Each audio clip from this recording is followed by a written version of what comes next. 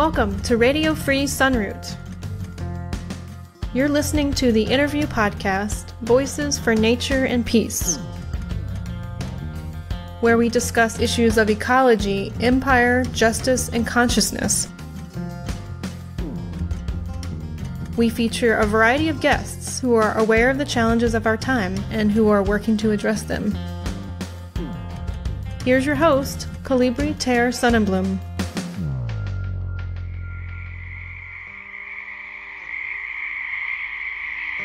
Episode 28 Remembering the Freedom Rides, featuring Max Pavesic.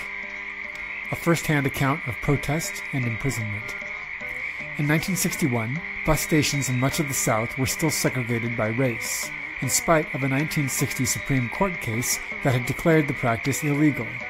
The Freedom Rides were a campaign in which whites and blacks rode the buses together to defy the Southerners and force them to change.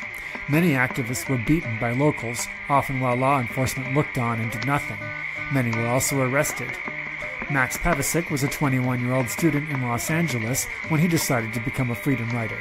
He rode from New Orleans, Louisiana to Jackson, Mississippi, where he was arrested along with many others and imprisoned at Parchman Farms. Segregation on the buses was declared illegal in November of that year and ended soon afterwards, in a clear victory for the activists. This was a campaign that worked. I spoke with Max on July 30th, 2020, which happened to be the 59th anniversary of his own arrest. In this episode, he tells his story.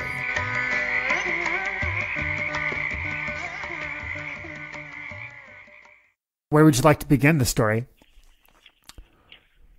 I think the story begins early in 1917. The Congress, I mean, the uh, Fellowship of Reconciliation after World War One, a group of pacifists, Christian pacifists, labor, and uh, peace movements, uh, Quaker pacifists, uh, progressives of various kind came together, and uh, they incorporated the uh, idea of Gandhi uh, of nonviolence.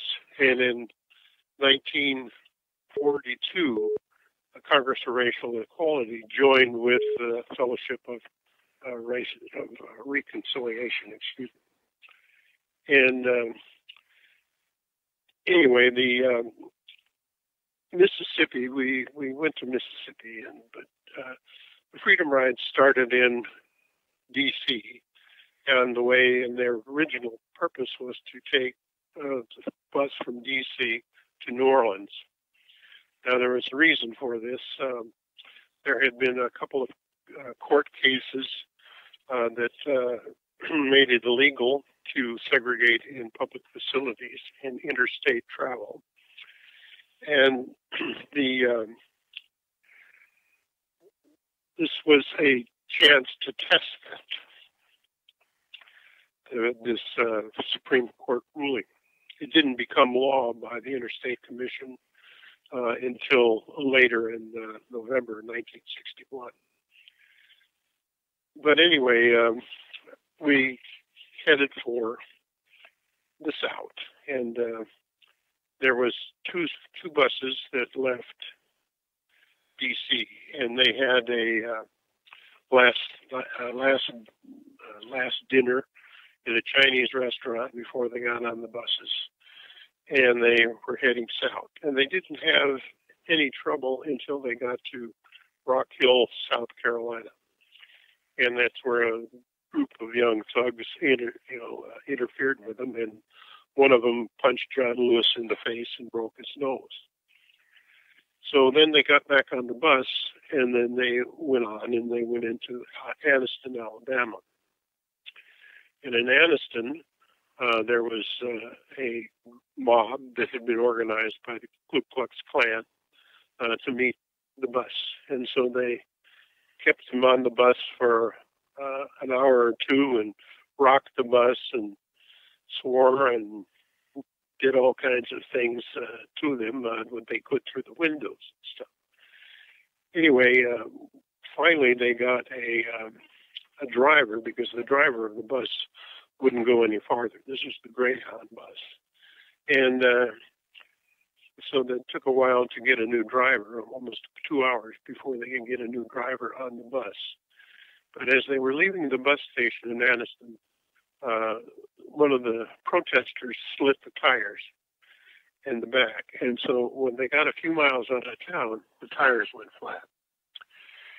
And as they were leaving town, there were about there were a whole line of cars following them from this crowd of hecklers. And uh, when they got to uh, out of town, then the people tried to get out of the bus, and because they were already surrounded them by all these hoods that were coming, and uh, they held the door and they wouldn't let the people out. And somebody threw a firebomb into the bus, and they were yelling, "Kill, kill those, burn them alive!" And they were holding the, the front door shut, so people inside could not get out. Well, that uh, firebomb actually exploded the one of the gas tanks in the bus, and that ex- major explosion then the people that were holding the door it frightened them and they jumped back and that's when people were able to get off the bus and uh, and then they roughed them up uh, when they were on out of the bus and on the ground there's one guy hank thomas uh, was one of the first guys out in fact he was the first freedom rider out and sat on the ground and he was asking for a drink of water. Instead, he got a baseball bat in the head. And so they roughed up uh, the crowd and or the Freedom Riders, and the bus burned. And that's the famous picture you see of the bus burning in Anniston.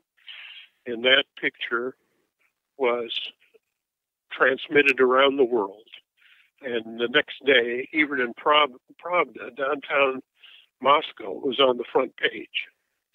So here's the land of democracy uh, with this kind of action, and it really embarrassed the uh, Kennedy administration. But anyway, that uh, that was an act that actually made the freedom rides. I think that if they hadn't done that, and if they could have gone simply through uh, Alabama, and Mississippi without too much hassle, uh, it would have been a back page article in the news. But the fact that that brought it to everybody's attention, the world's attention, the nation's attention, uh, then it could not be ignored. Did that happen before you yourself were involved personally? Yeah, yeah. I mean, Mississippi was the last group. And so this is just the start going into Alabama. Ah, right. And then they they went into Montgomery, and they got beat up.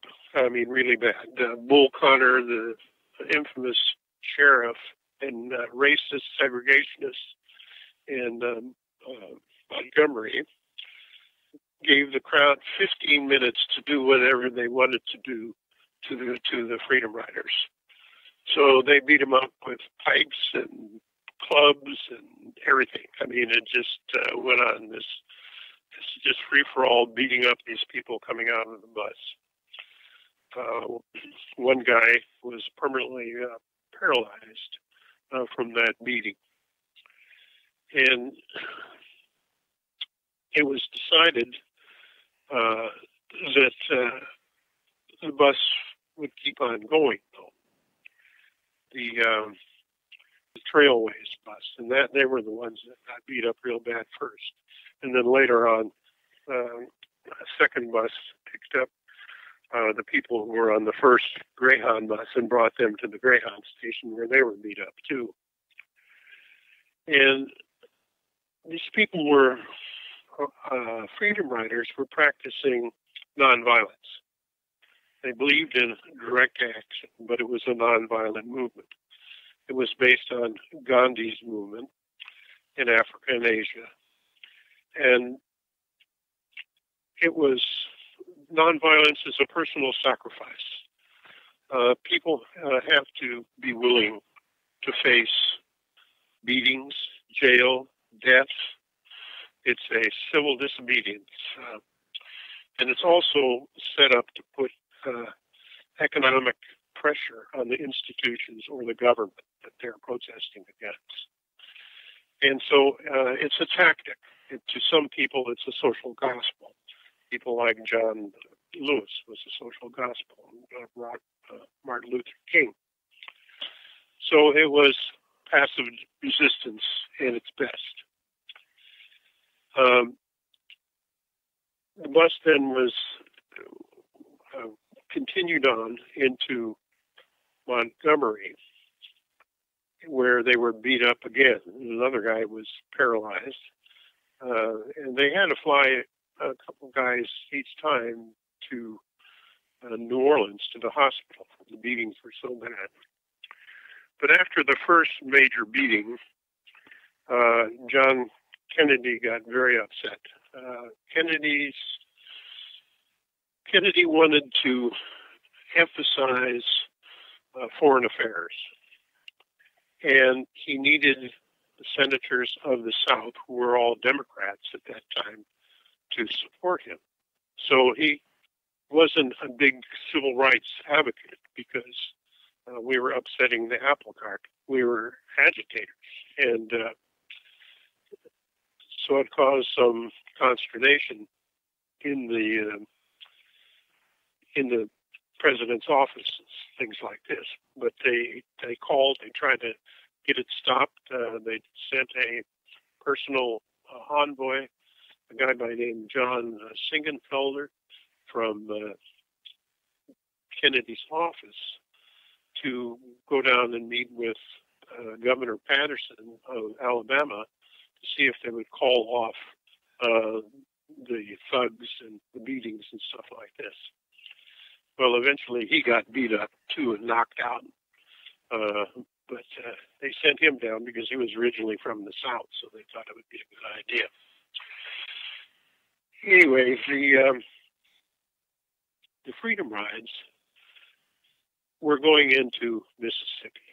Well, wait, would I let me back up there. Anyway, after those two meetings in Montgomery and uh, Anniston and uh, the other one, um, the CORE called off the freedom rides. They said people are going to get killed, so we can't go any farther, and we don't want that blood on our hands. So there was a student group in Nashville, and they had organized the original sit-ins, uh, lunch counters and stuff in Nashville.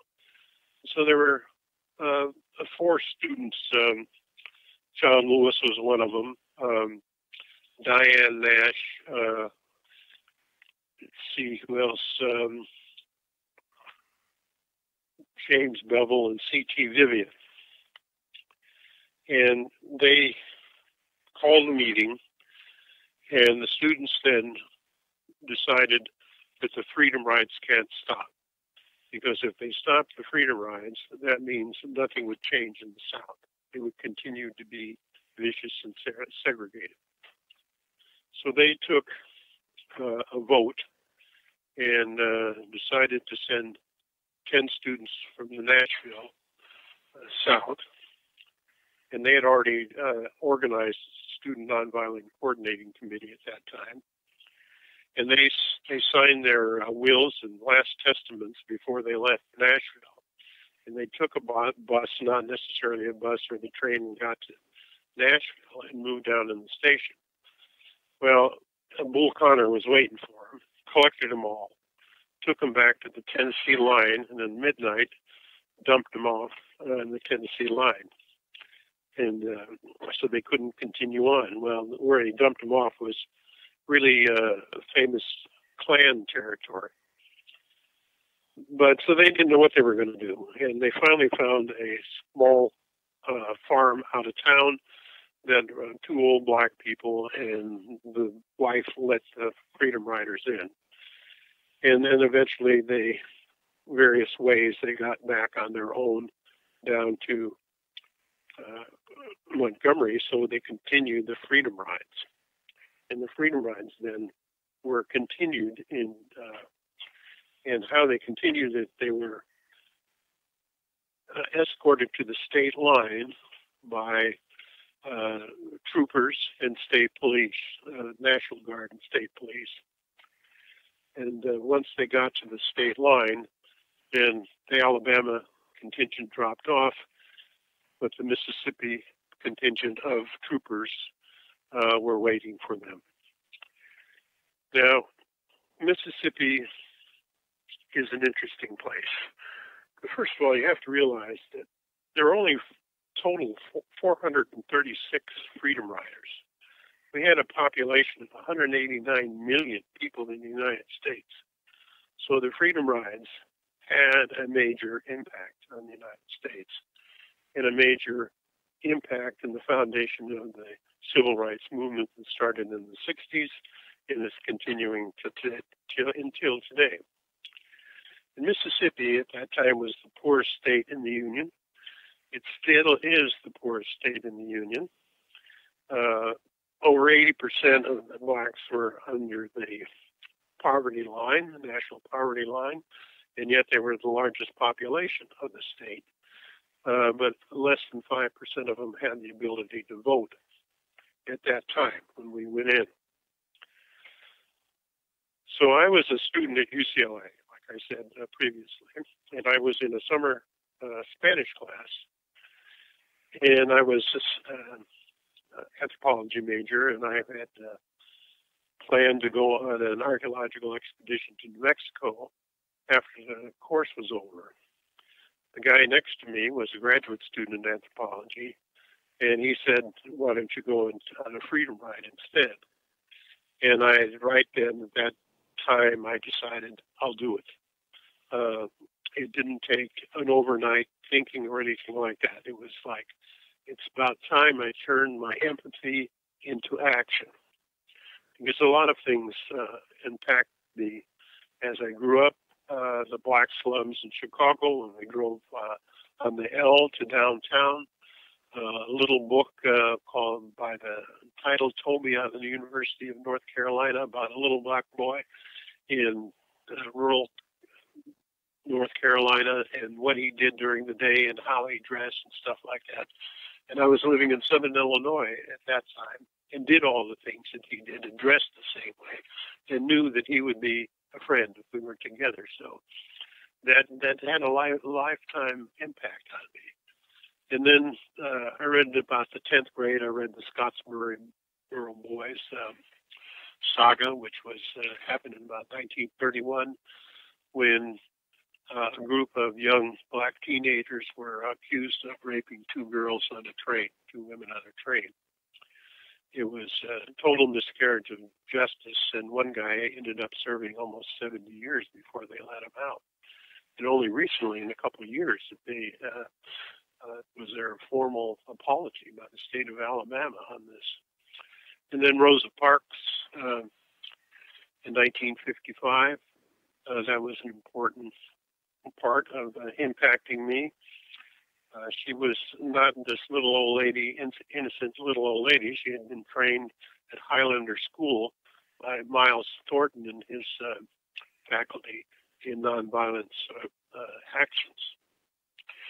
And then Emmett Till's assassination or murder in 1959, which shocked the nation and shocked everybody who was around at that time uh, to the core. I mean, he was 14 years old. He left Chicago to go visit his relatives in um, Mississippi and was accused of whistling at a, a, a lady in the in, in the store in Money, Alabama, in a little grocery store. So that night, her brother and another guy uh, pulled Emmett Till out of his uh, relative's house, took him across the state line into another county, into a barn, and tortured him all night. They gouged his uh, eye and one of his eyes out, and eventually they shot him in, the, in his head. And then they took a uh, part of a gin mill fan, big heavy piece of machinery, and tied it around him and threw him in the Tallahatchie River uh, to sink to the bottom. Well, he didn't sink to the bottom. He uh, he was found the next day by a black man who was there uh, checking his uh, uh, trout line that he had across the, li- the river. And Emmett Till's body was there, but the authorities didn't find him until a day or two later. And they asked this gentleman, How come you didn't report it? And he said, Why? He says, I see bodies floating down this river all the time. That's Mississippi. And that was Mississippi in the 1960s. It was considered the most vicious place in the South. It was famous for its lynchings. It was famous for its beatings. Uh, and it was a fascist state. It was completely trolled, controlled. You had the powers to be, and they were controlled top to bottom, and they were in the White Citizens Council, Thurgood Marshall, uh, Supreme Court Justice, called them the Uptown Klan. These are the people who were the politicians, the landowners, uh, the rich people in in town. I mean, in in the state. And below that, there was the Sovereignty Commission. They had their own internal FBI. Alabama had these too. And they went around the state and they had informants all over the state watching people to make sure that they didn't, quote, get out of line. And so if you got out of line, you beat up, you could get lynched, you could be run out of state, uh, you could lose your house, and all kinds of things. And below then the inter- the Sovereignty Commission, the Ku Klux Klan then actually carried out the violence. So, uh, so anyway, the this this state was uh, was a mess. It still is a mess. There, um, state pen, the major state pen, they've had uh, from December till March, they had like 19 killings and suicides in the state penitentiary this year. The uh, yeah, yeah, and the um, so anyway, here we here we go off to Mississippi, and, and everybody was afraid of us going into Mississippi because after all of this violence that occurred in Alabama, and we we're going into the most notoriously vicious state in the Union, uh, nobody knew what was going to happen. But we didn't know, and I didn't know at that time, that Robert Kennedy and Senator Eastland of Mississippi, who was an avid segregationist and racist, racist uh, came to an agreement, which was also agreed with, uh, but with uh, Ross Barnett, who was the uh, governor at that time that we were not to be beat up like the people were beat up and slaughtered in, in Alabama. Mississippi was trying to um, basically modernize, to bring some factories down in the south. And so uh, the big guys, uh, they didn't want the bad publicity that uh, uh Alabama had. I mean, Alabama had a tarnished name all over the world after that, and uh, so they they had this agreement that we wouldn't be uh, beaten up. So uh, anyway, I was in class, and I joined this group of people out of out of Los Angeles. Most of them were UCLA students, 15 of us, and I think there were like uh, 12 of us were students. There were three students from uh, other university, one guy a postal worker, and I can't remember the last person what they did. And the CORE flew us to New Orleans to get on the um, Illinois Central train. The um, and they flew us because it was at the end of the Freedom Rides. We were the last organized ride from CORE. So we took the train into Jackson, Mississippi. And this, the train is the city of New Orleans, which is kind of ironic because growing up as a kid in my early years in Illinois, I used to ride the city of New Orleans down to southern Illinois to visit my great grandparents. And it was a childhood dream to drive right on that train to New Orleans. Never would I would have thought that I would get on that train going reverse, starting in New Orleans, stopping in Mississippi for a month's vacation, and then go back on the train to Chicago. So it was kind of interesting. But anyway, we were getting off the train, and they obviously knew who we were. Uh, the FBI was there, Mississippi State Commerce Commission. They had a clipboard. Uh, they were marking us off as we got off the train. We go into the waiting room, and the uh, chief of police came up, and uh, we, we sat. There was a, a bench in the middle of the waiting room, and there were people. There were. Uh, it was the white waiting room, and there were people lined up against the wall, regular uh, travelers. And so we had this uh, two-sided bench in the middle of the room, and we sat down on that. Everybody had got to sit on except mine. There was not, not enough room for me, so I had to stand up. So the chief of police comes over and says, uh, "You all have to move on. You all have to move on. You're all under arrest." In about that time, that about that timing. So we were marched out. Uh, outside, and the front of the train station was cordoned off by uh, National Guard with uh, bayonets on their rifles, state police, local police, and a lot of uh, police dogs. And police dogs in the South were vicious. Uh, they are they were trained by an ex-Nazi living in Missouri. This guy trained dogs for Hitler during World War II to guard the Nazi uh, airfields in Germany. So here he is in the United States training these dogs for police in the South.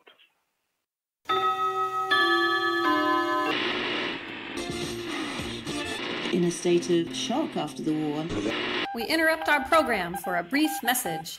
If you appreciate this podcast, please consider supporting Kollibri on Patreon. Just go to patreon.com slash Kollibri. That's K-O-L-L-I-B-R-I.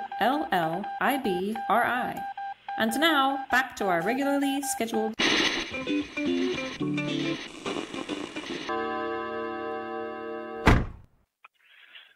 So they, they anyway, they pushed us into a uh, paddy wagon, and then we went off to jail. Uh, we were booked and then put upstairs in their uh, small jail, which we were there overnight. Now there was so many freedom riders coming into Mississippi, uh, wave after wave. It started. They started in uh, in I think July started coming into Mississippi. Uh, there was no certainly no room in the city jail. They just had a few cells, and there was no room at the county jail because it was filled up with local uh, people that were in for various uh, offenses. And so the state, the city rented space at the state penitentiary, Parchman Farm uh, State Penitentiary. Now, I said Mississippi was considered the most vicious place in the South. Well, Parchman Farm had the reputation of being the most vicious prison in the South. And there were stories of people going in and never being heard of again. And the year before we got there, they they eliminated the prison whipper. That's the kind of place it was. And yet it was progressive in some ways but very regressive and antiquated in other ways. Uh, they had uh, what they called uh, guards that uh, the guards didn't carry guns. They had trustees, which were trusted inmates, carried the guns. Uh, some of the trustees had businesses inside of the prison. They, one guy had a cigarette uh, business. Other guy had a soda pop business. One guy had a wood shop where a couple guys working in there, and they would make souvenirs that were sold in New Orleans. And then they also had conjugal visits for uh, the prison guards and some of the trustees, and uh, uh, and then if they weren't married, uh, they would bring in what they would call jumping Judies, prostitution, to anybody who wanted to be served. So it was this strange mix of things, and yet you know to have to have uh, faith in the prisoners to take care of things, and the, uh, was really a unique system. It no longer is that way in Mississippi. The guards have to carry the guns now. So anyway, we were put in a small uh, pickup truck with a, a graded back, uh, like a heavy steel wired back end, open in, and we're taken uh, up to Parchman uh, State Penitentiary. It was about a two-hour drive. Parchman Farm was a plantation. It was about 22,000 acres, and it was run by prisoners. They planted the crops, they picked the cotton, they cooked the meals, cleaned, cleaned buildings, etc., etc. And we were first put in a first offenders camp because there was no room in maximum security when we got there because it was filled up with freedom riders. So we were in the uh, first offenders building, which was a new building, was only about a year old. It was a nice open air place. We couldn't go near the windows. We said they said if you go near the windows, you can be shot. So we didn't go near the windows. We believed them. And we were there about four nights, five nights. And one day uh, we heard uh, hoof prints, you know, stomping, and looked out. We could see out the window. We could, and here was a flatbed wagon being drawn by two mules. And they were accompanied by a, a uh, guard with a whip and a trustee with a, two trustees, one with a rifle and one with a shotgun. And on this flatbed wagon were these black prisoners. They were put in the field to pick cotton. And I thought I was looking at something out of 1830 or something like that. I mean, it was amazing. And then uh, there was a, at one end, there was some vertical bars where the, the night guard watched us in there. And this old man would come in on the on the later shift, the night shift, and he would come in and he would be so nice and uh, nice Christian fellow, and he just couldn't understand why we would uh, volunteer to come to jail and do this and make all this racket and stuff like that. And then he would turn on the radio, uh, all this uh, Bible banging Christian preaching, and the guy would actually transform. He would all of a sudden he'd be in an hour later he'd be standing holding onto the bars, screaming at us, uh, motherfucking uh, lovers, uh, you know, and I'm like that. I mean, it was just amazing transformation. So anyway, after a few days of that, um, we were taken into the maximum security building. The maximum security building was divided into four parts. And we were divided by white men, black men, white women, black women. At the end of the black women's section, uh, there was the um, the the uh, not the gas chamber. I think they put them uh, the uh, electric chair. So, but they didn't do any executions while we were there. So the death chamber was at the end of the uh, women's section. Uh, we walk into the building, and here in front of us were three or four trustees with rifles and shotguns kneeling on the floor with a line of uh, prison guards with billy clubs behind them, and we were told to strip. So there we standing there, stripped, uh, being emasculated in front of all this, all these guns and stuff. Now the women, when they got stripped, some of them were even body searched. But anyway, then they, uh, we had to put our clothes in a like a shopping bag size bag, and then they issued us a pair of boxer shorts that had MSU stamped on the back which stood for Maximum Security Unit, and they gave us a, a thin strap T-shirt, and then they marched us off four by four down into our cells. Now the cells were six by ten. Uh, they were cinder block, and at the one end on the hallway there were bars. There was no direct light; it had like the sunlight up above across on the wall, so you, just, you can just only look out at the wall. And there were two. There was bunk beds, and there was a small commode, and there was a small sink, and that was it for two people. Now, it was boring to say the least. Uh, we weren't allowed a reading material. We weren't allowed TV or radio or anything like that. And we kept the camaraderie by singing. And we sang all these civil rights songs, like We Shall Overcome. And we, we would do that for a couple hours of night, every night, and to keep up the camaraderie of the group and stuff but you really couldn't talk to anybody. You could talk to the people right next to you, kind of around your cell wall, and the people next to you. But as far as the whole group, you couldn't talk to anybody.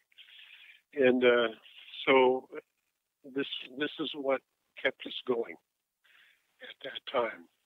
Now, some of the black prisoners earlier, the Freedom Riders, uh, they were singing, and we were told to shut up, and they kept on singing and they finally uh, water hosed down.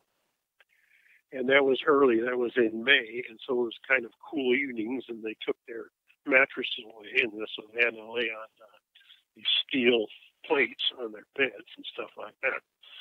But I never had to uh, go through any kind of, uh, you know, any kind of problems like that. We we didn't we didn't. Uh, they just kind of left the white men alone. Um, I mean, that's part of the Southern way at that time. Uh, there were a few guys earlier, white guys, that went on a uh, hunger strike, but only a couple that I know of. And then they were put in in the hole, and the hole was a small uh, four-walled room, which had a little slit under the door, which had the only light in the room, about an inch of uh, height there. And in the hole, in the middle was a hole about a four or five inch hole, and that was the the, uh, the commode. And there was no furniture or anything like that. You sat on the floor in there. And in one time, they took 20 some black prisoners and shoved them in the hole. And it took three people on the outside to push the door shut. There were so many people crammed in there. And when you talk to those guys, some of them said, well, we were in there only 10 minutes. Other guys would say we were in there two hours. You know, the total uh, confusion of, and, and panic on some of them.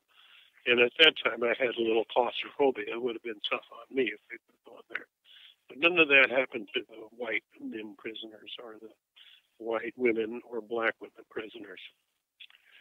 The um, then we there was we got to out to shower five minutes every week, four at a time.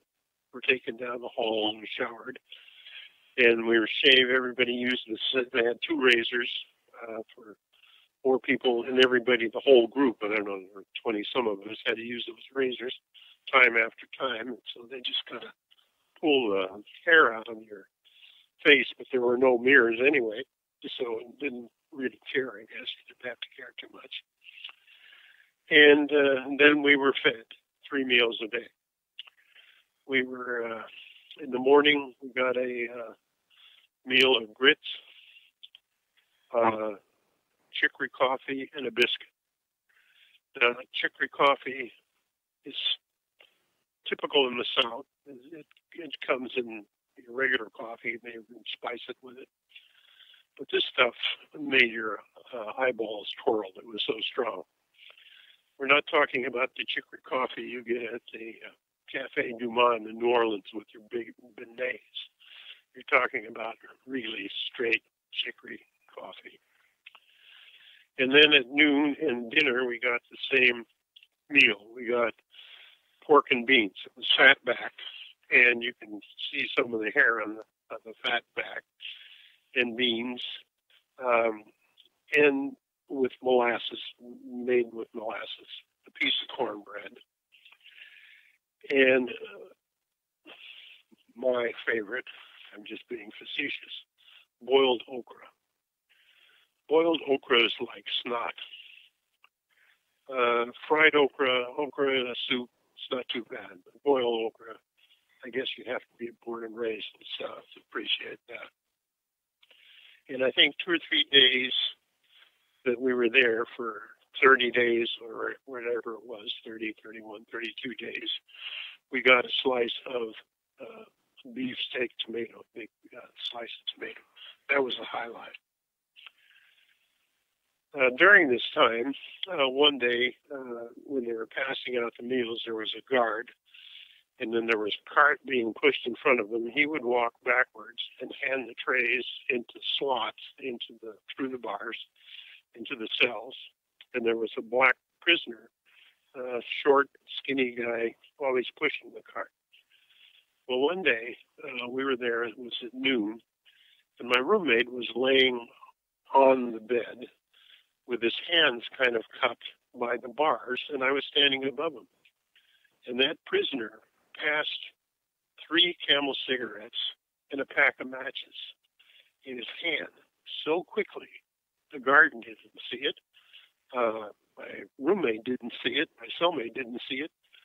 And I only saw it after they were in his hands, and I reached down and clasped his hand closed so the guard wouldn't see it.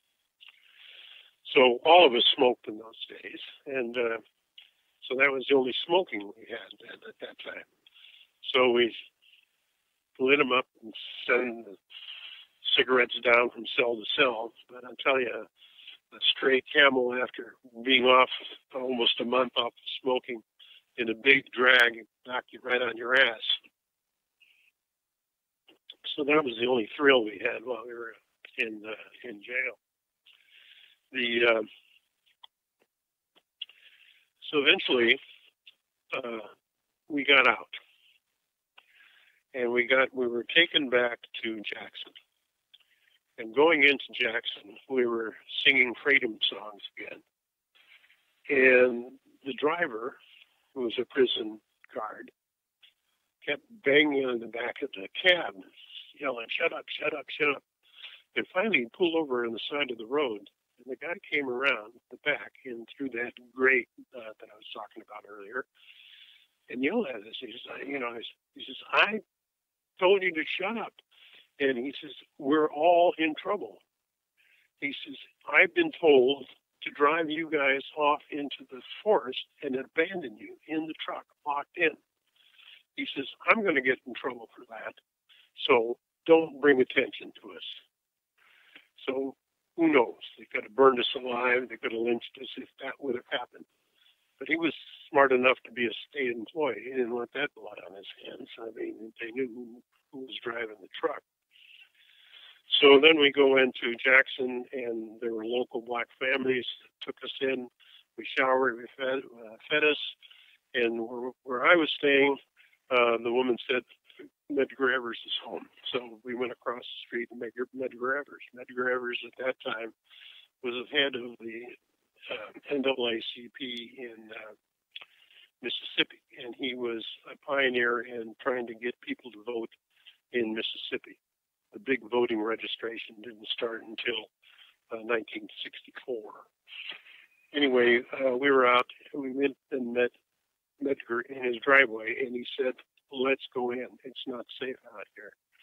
Thirteen months later, he was assassinated in that driveway. He knew that they were looking for him, and they were waiting for him, and they finally got him. So we go back to I mean, to Chicago, not to Chicago, to Los Angeles, and then we, but we had to come back to Mississippi later in September for our trial. And the trial was there was a, a jury of 12 white men uh, staring at you, hating you. You could glitter in their eyes. And uh, we were uh, convicted of being breach of peace. Now, what we were convicted of was breach of peace, which is a misdemeanor. But it's kind of uh, ironic that as a misdemeanor, we ended up in maximum security in state penitentiary. But uh, anyway, that that's kind of went back to LA, and then I went on to work in archaeology and things like that. Uh, at that time, we were kind of getting moved out by by 64. Black power was moving in. There was no really room for white people in the Black Power movement, uh, but Vietnam War came along, so a lot of us shifted our attention of uh, demonstrating against the Vietnam War. So anyway, do you have any questions? So you were at Parchman Farms for about a month, you said? Yes. And so they just held you there until they could have a trial for you, or why oh, did they release you? Uh, they released us. CORE, uh, CORE released us. We it, the actual uh, thing was like a two hundred dollar fine and four months imprisonment, but we could get out within thirty days. And so, like I said at the beginning, we were to put pressure on the state and put economic pressure on the state. So CORE kept us in there to the maximum, the 30 days, and then they bailed us out. Now, a couple people, uh, a couple blacks served out their full sentence, but not not the rest of us. Then you went to a trial for this after that, and so you had to go back to jail after that too. Well, no, we just went to the trial. Uh, we went back to L.A. and then we had to come back to Mississippi for the trial. And uh, we came on the Greyhound bus to Mississippi, and that was a, quite an adventure. There was a black gentleman in Jackson that hosted uh, a friend of mine, Winston Fuller, and I in a shack, a two-room shack. Uh, we stayed, we shared a bed, which was a regular bed. Had to leave the lights on because Winston was afraid of the bed bugs crawling up the wall if you turned off the light. And this guy was so thankful for what we were doing. He was must have been 80 years old at least. Poor as a church mouse. So he shared his dinner with us. We each got a slice of white bread and we shared a can of tuna fish. That was it.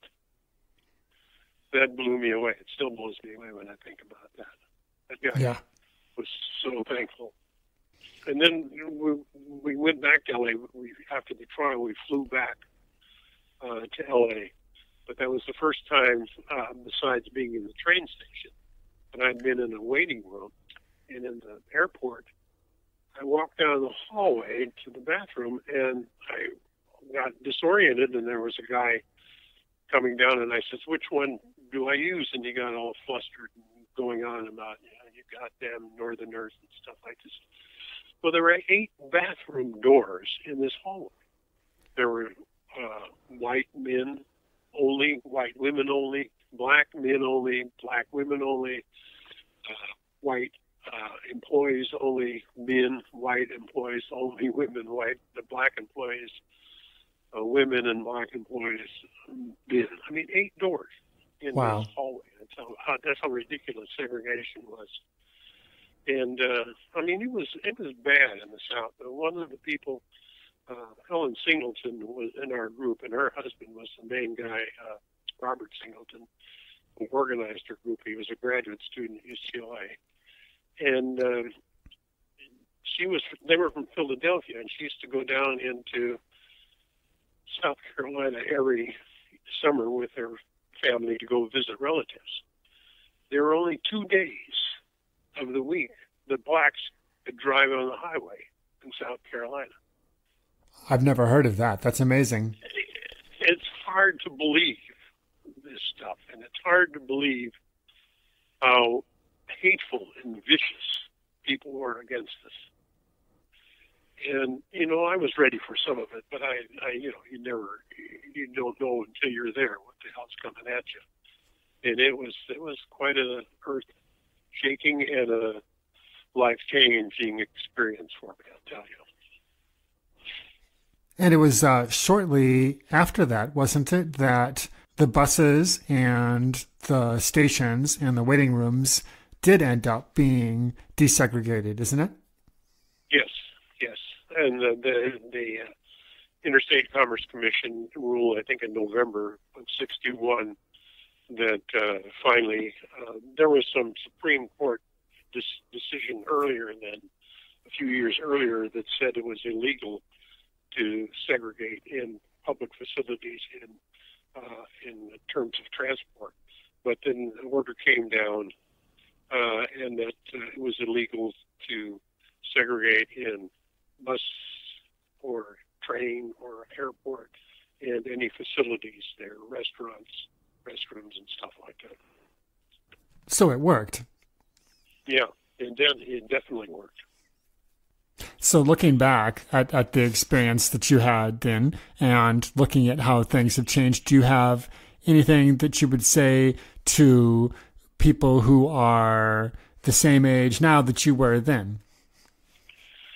Yeah, just keep on fighting. I mean, you have to, even though we have a democracy, you have to maintain your rights. You have to fight for your rights there's always somebody trying to take them away from you, like uh, the Trump administration, you know, taking away people's voting rights and stuff like this.